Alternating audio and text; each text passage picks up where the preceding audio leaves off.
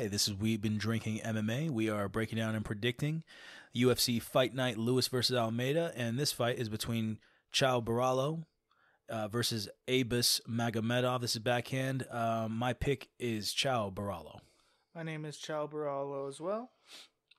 Um, He's minus 270, $270 to profit 100. So he's, he's a massive favorite. Pretty- pretty massive. Abus is actually really good striker. Abus pretty so- dangerous, isn't he? Um, as far as Magomedov, he's very tall and lanky. His last fight, he got KO'd in the second round versus the champ, Sean Strickland. Abus, yeah, Magomedov got KO'd because he gassed. Yeah, he get First that's round he that's won, The, that's you like know? the only reason why he lost. That is, I mean, like he was kicking, leg kicking Sean. He was Sniper aggressive with those kicks. the punches, like Pow, you know, pow, and Sean pow. sometimes had, used to have a habit a little bit more of kind of walking into some punches, and and and Abus hit him with some good punches, Yeah, man. very, very.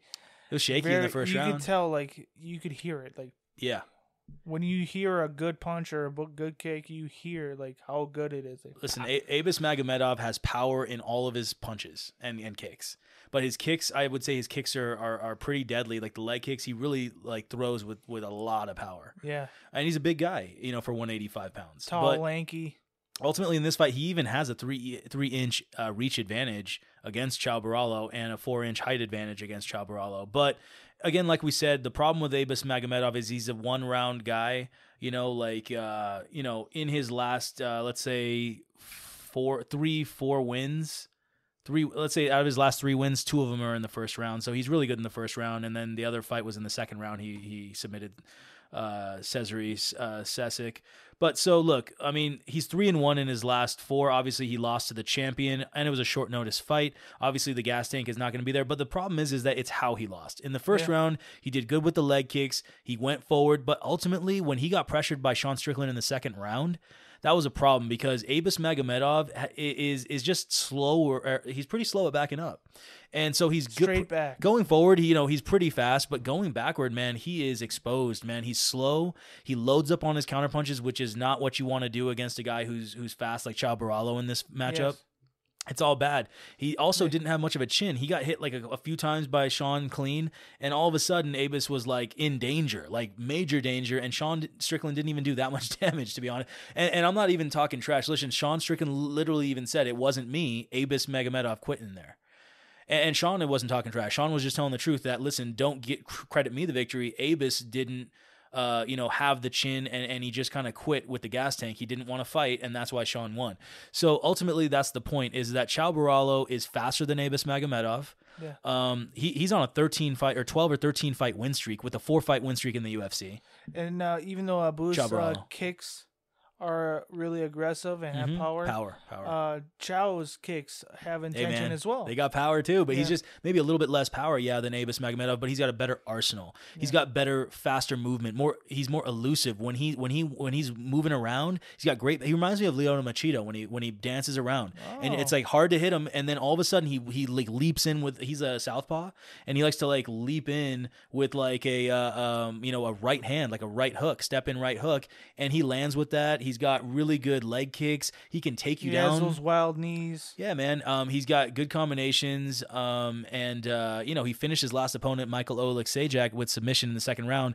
For you know, he was on a three-fight uh, win streak uh, in the UFC. He had three wins in a row, and they were all unanimous decisions. And people were saying, yeah, you know, I think you know, people were thinking, you know, he was not a, a finisher, and all of a sudden, you know, he finishes Michal Oleksiejczuk in his last fight, and he goes up to the camera and he's like. Put some respect on my name. I finish Yeah, people, you he- know. few not choice curse not- words. Not those exact words, but you can fill in the blank where it needs to be. Yep. And uh, listen, Caio Borralho is a guy who, who who he's he can throw combinations, but he's really elusive with his movement. Hard to hit, hard to find, fast movement, and he can time you with a punch. He leaps in with a straight punch. You just don't really see the punches coming, so he can really hurt you when you don't see it coming. Dangerous in that way. And on top of that, you know, he is good going forwards and backwards, which is super important in this fight. You know, you need to be good at countering and going forward and throwing combinations and leg kicks and, and body having kicks. angles when you're going backwards too. Yeah. So ultimately, um, you know, he can he can he can take you down and change up the whole fight and just take you down to the ground um, very quickly. He That u- can change the game. he can change the game with that. Um, so ultimately, Borralho's a guy who's always moving, whereas Abus is not moving as fast and as much. Yeah, Borralho's pace is really, You know, really impressive. Abus is more loading up than punches, and Caio is looking to move around and time you, and that's a beautiful thing to see uh, play out. So uh, that's that's basically it. You know, um, you know, uh, Abus doesn't have that much of a chin. His gas tank is suspect. Borralho's faster. Borralho's more experienced. Borralho's on a 13 fight win streak. He can fight going forwards and backwards. He can put people away. He can take you down, strike with you, time you, kick you, whatever he wants to do. This first It's amazing. round in this fight is gonna be amazing. Yeah, first round is gonna be super fun. Yeah, Get the get the popcorn right. get the popcorn. Um, and I, I do also want to say that Caio Borralho's defense is underrated. He gets up that that hand tight on his uh, when you're when, against punchers, and he knows how to block at the perfect time. He is actually really good at defense, and that's why he's on a 12 fight win streak. Not just his offense. I just wanted to say that. Not just his speed and offense, but his defense Yeah. is better than Abus Magomedov handily. So I think it's going to be a great fight, but ultimately Caio Borralho gets the win. I think Yeah, minus I'm 270. picking Borralho as well. so. I'm switching my pick, Abus uh, Magomedov. I'm I'm, I'm switching it. No, no, I'm switching it. No, I'm, I'm messing late. around. No, I'm going too with late. too late, too late.